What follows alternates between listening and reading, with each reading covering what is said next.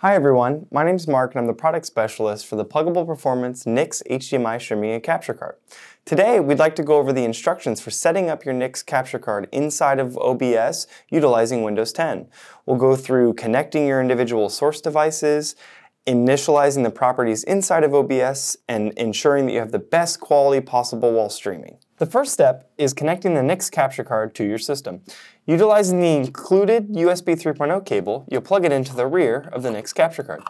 You'll note that it's properly connected when the green light indicates on the capture card. Then you'll take the HDMI cable from the source in which you are attempting to capture, such as your Xbox, your Nintendo Switch, or your PlayStation 4, and you plug it into the in port on the front of the capture card. Then, if you'd like to, you can pass through a separate display via the out port and an HDMI cable on the capture card. Depending on the individual system that you're connecting to your NIX capture card, you may have to adjust some individual settings to ensure that you get a correct signal inside of OBS. On the Xbox One, Xbox One S, and Xbox One X, HDCP is disabled by default. On the Nintendo Switch, HDCP is disabled by default as well.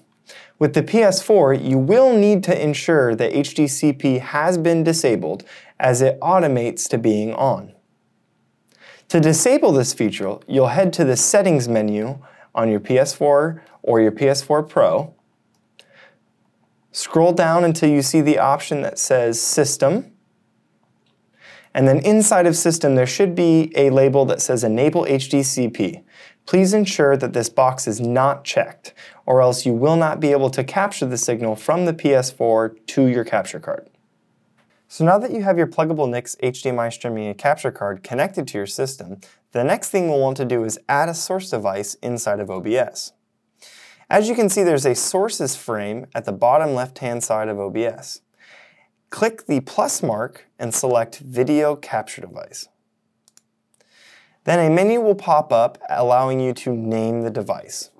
For this video, we'll just name it the Plugable NIX HDMI Capture Card. This is the main settings and properties menu for the video capture device. We'll go through and we'll select FHD capture. And as you can see, the image is coming through in the OBS perfectly. So now we want to make sure that we have the best possible settings for ensuring that you have a great stream. The first thing we'll want to do is change the resolution and FPS type to custom. This allows us to adjust the resolution for whatever we desire. The plugable NIX capture card does allow you to output at 1920 by 1080 at 60 FPS, but we will have some users who will want to do 1280 by 720 and 60 FPS just to reduce the load while streaming. For this video, we'll select 1920 by 1080, we'll set the FPS value to 60, we'll make sure that the video format is YUY2.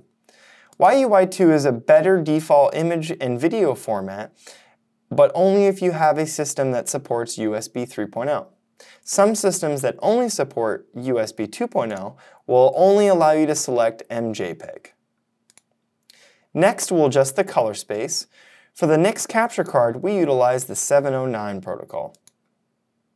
Then, depending on what your source device is captured as, for instance, on this Xbox, it may have a default or automatic setting for its coloring profile. So we'll go into the settings of the individual Xbox. We'll go to display and sound, and then video output. Inside of video output, we'll go over to video fidelity and overscan. Inside of video fidelity and overscan, you'll see a color depth mixture.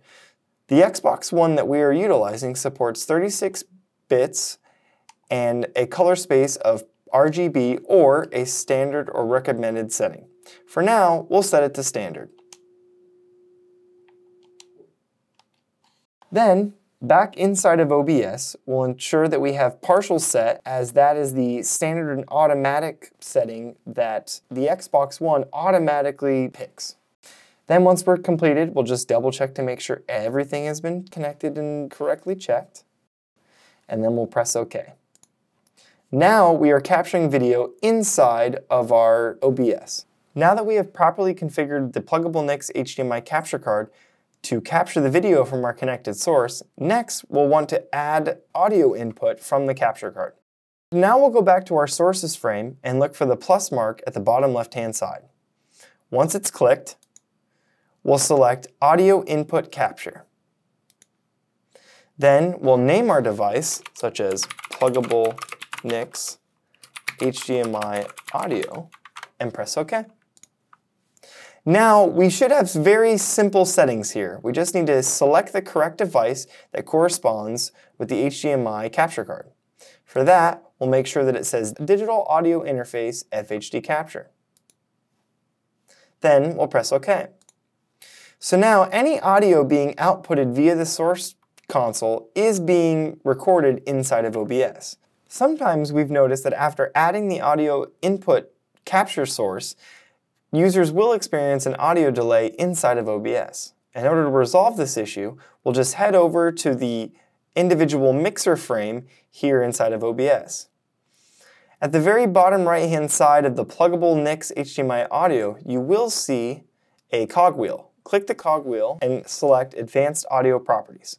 Once Advanced Audio Properties has been opened, you will see a sync and offset make sure that you're properly on the right named audio input capture device and input 470. This should be the default sync value to make sure that your audio and video are synced properly. We appreciate you tuning in. Check back in for more instructional videos. If you have any additional questions or concerns, please do not hesitate to reach out to us at support at plugable.com. If you ever have a free moment, we'd love to hear about your experience with our product and support team in the form of a product review.